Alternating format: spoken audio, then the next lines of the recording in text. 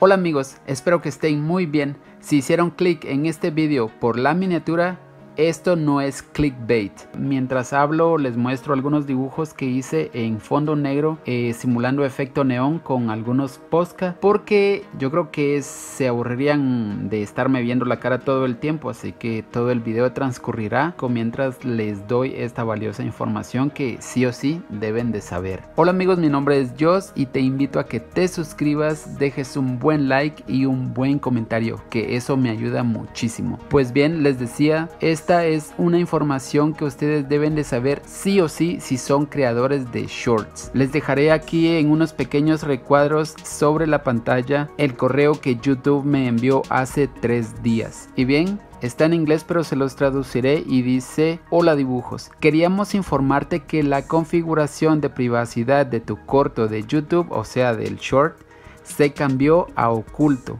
porque el creador original eliminó el vídeo del que tomaste una muestra de audio o lo canceló. Estamos haciendo esto porque les damos a los creadores control sobre cómo se muestra su contenido original en YouTube. Cuando los creadores eliminan o excluyen sus creaciones originales de YouTube, automáticamente silenciamos el audio de muestra de los cortos, o sea de los shorts, que remezclaron estos vídeos. O sea que esto no me afectó solo a mí, sino que afectó a miles. Y leyendo la contraparte del correo dice cosas muy importantes que debes de saber.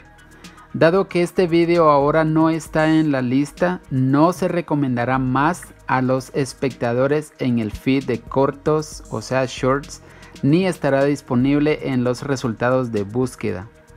Hemos silenciado automáticamente tu short tu corto se eliminará en 30 días, pero puedes descargar la versión silenciada del corto de YouTube Studio antes del 12 de diciembre del presente año. Debido a que el creador del vídeo original eliminó su vídeo, es posible que no tengas permiso para volver a cargar tu short en YouTube con la muestra de audio original. En su lugar, considera cambiar el audio. Para obtener más información, consulte nuestro centro de ayuda. Sinceramente, el equipo de YouTube. Bueno, aquí hay varias cositas que me gustaría recalcar. Que como todos ustedes saben, eh, los shorts no tienen motor de búsqueda todavía. Yo creo que esto se implementará hasta el 2023, pero pues YouTube está haciendo todo lo posible y leyendo me he dado cuenta que YouTube gasta miles de dólares en inteligencias artificiales para que estén al tanto de la plataforma eh, localizando bots, eh, contenido con copyright, etc. Es por ello que algunas personas dicen que YouTube está muy estricto, pero simplemente está cuidando el contenido de nuestro contenido como, como creadores de contenido. Así que, pues bien ahí YouTube. Lo que sí me duele, debo decir, es que fueron cuatro shorts los que YouTube me silenció, pero porque yo anteriormente no sabía nada de esto de cómo se mueve el audio de shorts y pues yo escogía alguna música que me gustaba y la ponía de, fondo o algo así. Pero pues déjenme decirles que es un grave error y si ustedes lo están haciendo, paren de hacerlo, ya no lo hagan más porque mi vídeo, el que más vistas tenía, casi llegaba a las 12.500. Tal vez no son muchas vistas para algunos creadores, pero pues para mí sí lo es.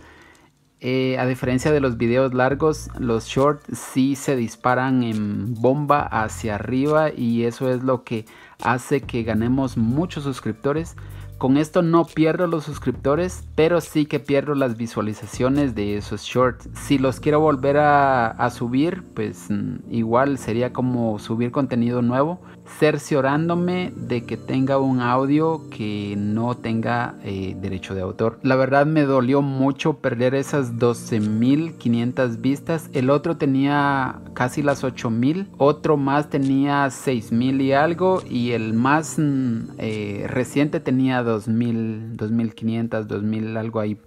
Pero realmente duele porque tú como creador de contenido te esfuerzas muchísimo para hacer lo que te gusta hacer. En mi caso, a mí me encanta dibujar y me encanta eh, expandir esa información de tutoriales o tips de dibujo con mucha gente que pues tal vez tiene miedo de lanzarse a dibujar como lo mencioné en mi video anterior pero pues no es el caso que nosotros trabajemos tanto es decir unas 5 horas para resumirlo en 15 segundos o en 60 segundos que es lo máximo de un short para que después no sea tumbado el vídeo como que esto no tiene mucho sentido no entonces por eso debemos ser muy precavidos con el contenido que utilizamos o reutilizamos en este caso. Yo les recomiendo que si van a hacer un short, por favor usen música de la biblioteca de audio de YouTube, ya que YouTube, como dije en mi video anterior, YouTube nos proporciona esa música con atribución obligatoria o sin eh, atribución obligatoria, pero que sí la podemos utilizar en nuestros vídeos sin ningún problema. Entonces yo utilizo mucho de esa música que uso en mis videos largos, en mis shorts y eso lo había hecho de vez en cuando, pero ahora sí que lo voy a implementar en todos mis shorts. En algunos no porque realmente solo sale mi voz, pero em, sí que es verdad que debo evitar todo riesgo posible con mi canal. Como lo dije anteriormente, en mi video, YouTube manda tres strikes y a la tercera el canal puede ser anulado. Entonces, para no correr con ese riesgo, eh, yo los invito a que empecemos a crear shorts pero con el debido cuidado posible. Y no solo porque nos gustó esta música la vamos a utilizar sin saber el trasfondo de esa música, de dónde viene en realidad. Yo creo que esta información es muy valiosa y pueden encontrar muchos videos con la misma información, pero sí que les digo que es muy cierta porque me pasó a mí, o sea, me silenciaron cuatro videos que pues como les dije, gané muchos suscriptores con ellos y que al final del día estos me sean tumbados. Para evitar eso es mejor cerciorarnos desde